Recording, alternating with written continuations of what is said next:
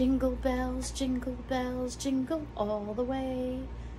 What? Christmas at this time of the year? I don't think so. So, what are we talking about tonight? We're talking about comfort, things that comfort us. So, I don't want to talk about this kind of comfort. We're not having tears tonight. We're going to have some encouragement tonight. That's one of the things I'm really big on, especially here on my channel on YouTube, where I know I have a platform and I can get on there and I can talk about what I feel like I want to talk about and I don't really have to worry about it. And I want to talk about comforting each other and encouraging encouraging each other. And why am I holding this box of soup? Well, I will tell you. So I today had a conversation with somebody who is in a transition state of life. And she is a family member that's trying to find a new norm and because they are she is too and she's going through some tough stuff. And then i talked to somebody else and and um, they're just in a tizzy about life. Life is just not where they want it to be. They're not where they want to be and they're just you know feeling that kind of feeling then i had a friend of mine i uh, she encountered a situation with a relative of hers where they got hurt now she's in a state of i need some comfort and um, got a message from a relative and, and they're struggling with something and they need comfort. And you know what? Comfort is something that we all need at different stages of life. And comfort could be anything from comforting comforting a little kid, you know, that fell off their bike and and they're fine, but they think they've, you know, broken 18,000 bones in their body and you pull out a lollipop and all of a sudden the tears stop and they realize they didn't really hurt themselves. They more or less just fell and, and it, it was a light fall. You know what I'm saying? And, you know, then there's other times you need to comfort someone who's dealing with grief or something along that heavy of a level of things and there's days where you just you yourself need comfort and today was one of those days you know i've told you i've been through a month of crazy been through the last week of crazy, and today was crazy. It, it, it, was just an intense kind of a day, and not a bad day, but an intense kind of day. Enough of a day where I came home from work and I said to my husband, I need some comfort food. Now, we've been talking about routines and we've been talking about uh, comfort and just, you know, chaos. Finding comfort now is what I want to talk about in times of chaos. Are you in chaos? I don't know. Where are you? Where are you in life? So why am I holding this soup? Well, I came home tonight and I said to my husband, I need comfort food and I just need some soup. I don't care that it's 90 degrees here in New Jersey. I need soup. So I made my favorite soup that I grew up on as a kid. I love this soup. It's probably not the healthiest and I don't even want to know how much of two grams of protein. Whoopie-doo. Um, yeah, yeah, not too much of the good stuff in here, but, but it was comforting. And I made canned biscuits, you know, the ones that pop as you unravel them. And it was comforting. It was just right. And we put on, how many of you were sci-fi fans? Yeah, me and my husband, every day, every night for 36 years of marriage and two years before that with dating and engagement 38 years together we watch Star Trek. We joke and we say Star Trek keeps a marriage together.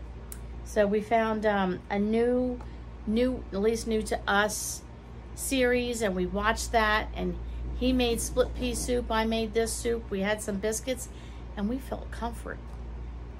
So why am I talking to you about this? You know, you talk to friends, right? Don't you talk to a friend when you need comfort? That's some, one way you're doing it. So I'm talking to my friend here tonight. There's a friend out there, not maybe not all of you, but there's a friend out there that needs to be comforted tonight or encouraged. And one of the things, like I said on my channel, I like to be encouragement. Uh, be an encourager and encourage you. And you guys are so encouraging to me through your emails and through your comments below. And um, I've been perusing through the comments. I haven't had a chance to respond to all of them, but So many of you gave me good makeup tips, and I really appreciate that. It just shows that you care, you know, and that's a comfort to me.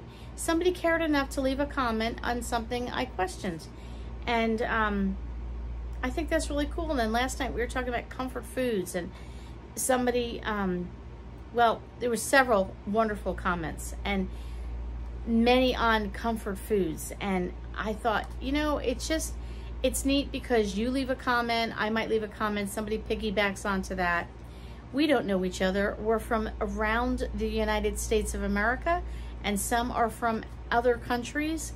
And yet I feel like we have a community here that can comfort each other. And I have people put prayer requests on, or you'll email me sometimes and say, Can you pray? And um, know that I do read them. I don't have the time to respond to each and every one in depth, but when I get an email to pray, right then and there, I stop. Like, stop. You need to know right on the spot because I don't want to forget. And I do pray for the situation at hand. And even if you say, I can't go into detail, you know what? I don't need the details. The Lord knows. And I do pray for you. So, what are some of the comfort foods that you find that are good? To, they're usually not a healthy salad. You know, I wish they were a healthy salad with a light vinaigrette dressing and lots of veggies. Oh, you know, that is more to me of I want to get the job done. I want to be healthy. I want to do the right thing, yada, yada, yada. I'm going to have myself a good old fashioned, plain and simple salad. But there are other times that pizza, hot dogs, soup, um, pasta. To me, pasta, pasta, pasta. You can't get much better than pasta maybe bread, bread and butter, peanut butter and jelly sandwich. I don't know, all kinds of foods like that that bring you comfort. Now, you don't want to get carried away and always be eating a pizza pie and you eat that every night of the week, you're going to look like a pizza pie. So we need to be careful with that. But I think we need to find comfort. And I'll tell you why. I had a coworker years ago and she um, she was wound up pretty tight. And I used to joke with her, and we would work, and she was always she was a nervous Nelly, and she would get very flustered. And I said to her, you know, today we could we could laugh about the situation, or we could cry about it. And today we're going to choose to laugh. And I don't know if I heard that somewhere or if I made it up. I don't know. But I used that with her, and she found comfort in that saying. And when she would get herself in a tizzy, she would kind of out loudly remind herself of what I said, and I'd be there and kind of root her on. But she was wound up so tight that she could snap. And I would tell her that you're wound up too tight. You're going to snap one day. You've got to learn to let things go. But I can't. It's got to be. And she, you know, if every T wasn't crossed and every die wasn't dotted, she, and listen, I get it. I want I want to live a perfect life. I want my house in order. I want my nails to look beautiful. I want my makeup to look great. My hairdo to be just so and my earrings to match and yeah, I want all that. But you know what? I walked outside, it was pouring rain and I didn't have an umbrella. My hair got wet, my makeup started running. And then, you know, I, I probably maybe wore two different shoes that I didn't realize and got that underwear on that's full of holes and you shouldn't have worn them. You should have threw them out. And, you know, then I get in the car and I spill my coffee in the car and, and then I broke one of my nails trying to close the door because it's raining. And did that really happen? No. But you have days where you feel like that's the kind of day I'm having.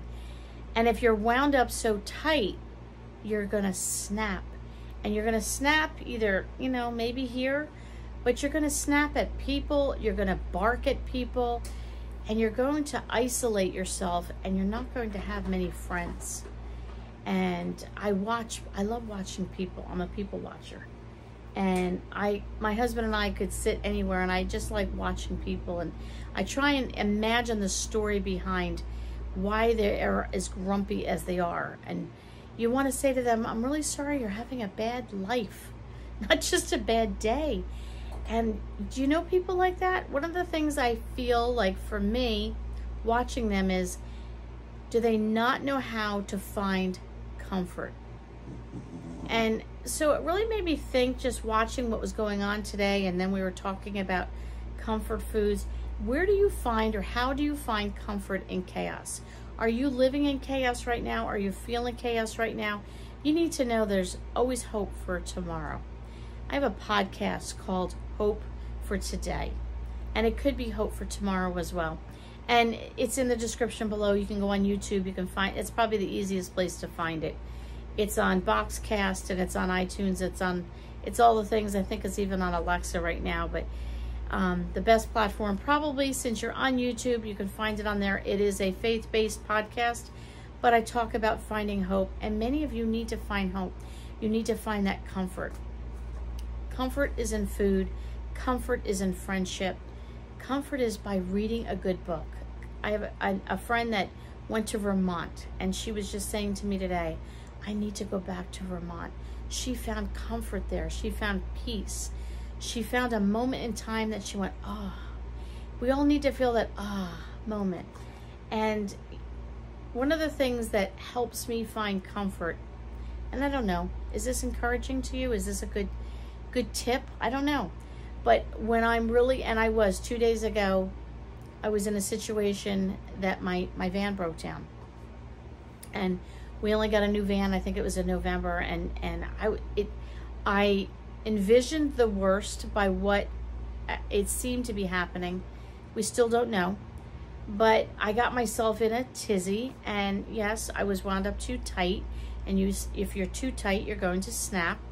And I needed to stop myself and find comfort, and I needed to find hope, and I needed to. Well, we were able to borrow a car, and I got our van to the shop and I had a friend pick me up and I've been able to get to work and so on and so forth. Okay, baby steps. Finding comfort in those things that I got it. I was able to borrow a car. I was able to get the van to the shop. I was able to fill in the blank. And all of a sudden, it kind of relaxes you a little bit and brings you some comfort that, okay, it's okay. It's okay for today. It's okay for today. So where do you find comfort? Is it a place? Do you like going somewhere? Dollar Tree? So many of you have sent me gift cards, like a $5 or something gift card for Dollar Tree, and said, go and enjoy. I keep them in one spot in my purse, and I enjoy. Let me tell you, I enjoy. Um, yes, I go to the Dollar Tree. Retail therapy is comforting. And, you know, if you give somebody a $5 gift card that's in love with Dollar Tree, you get five new items or maybe now four point some items, but you know what I mean. You can go and you can pick up a few new things just to put a smile on your face, to bring you comfort. My one sister periodically sends me a five, a $5 gift card online. You can send it through Facebook Messenger and things like that. And she'll say, go buy coffee and a donut and I save that $5 before I put it in my account. This way, when I need some comfort, I can get coffee and a donut. And I always take a picture and I hold it up and I say, hey, I got my coffee and a donut. Just wanted to let you know. Maybe you find comfort in talking to a certain person. Maybe you find comfort in a TV show. You know, we all need to pull away sometimes and have that moment of comfort. And if you're in the middle of chaos right now Give yourself grace. Give yourself that grace to know it is okay to have a box or a package of Lipton soup. It's okay to eat canned biscuits. It's okay to go to the Dollar Tree and buy yourself a treat. It's okay to watch a Christmas show in the middle of July, as you saw, yes. By the time July rolls around, this woman, the one you're looking at right here, is in total Christmas mode. Echo, how many days until Christmas? Christmas is in 170 days, on Monday, December 25th, 2023. Thank you, Echo. So, did you hear that? 170 days until Christmas. But I love Christmas. I find comfort in Christmas. So, I'll sing a Christmas carol. All the people I work with know, oh, here she goes again with her Christmas music. By the time July comes, I'm starting to feel, as we call it, the burr season. I love the burr season. What's the burr season? Hmm. Leave me a comment below and tell me if you know what it is. We're going to talk about that in an up and coming video. That is my favorite holiday season, the burr season. So we're going to talk about that. But part of that is the Christmas time. But it's that joy, that fun music. I don't know, I find such joy and comfort in that. It's like a big blanket I'm wrapping around myself and I just feel great. So I don't know where you are in chaos. Do you have chaos in your life? Maybe you have a day of chaos. Maybe it's been a week. Maybe it's been a month. Maybe it's been a year. Maybe it's been longer. Give yourself grace. Find things that bring you comfort and allow yourself to read that good book, have that bowl of ice cream, talk to a friend, go for a walk, go to the Dollar Tree, go for a visit. You know, I hope that this video brought you comfort. If there's one person out there that needed to hear this tonight, that needed to go, oh, Lynn just wrapped a blanket around me and made me feel like, ah, oh, right now, then I feel excited. If you found this video to be comforting, to be encouraging, to be uplifting, to be so silly and frivolous that it really didn't talk about a whole lot, but it was just what you needed tonight, do me a favor and pay me back by encouraging me and just saying, hey, Lynn, thanks for that. I needed it. And also, if you've stayed this long, leave a comment below of what your favorite Christmas song is. Let's do something totally different. All right, guys, we'll catch you all on the next video.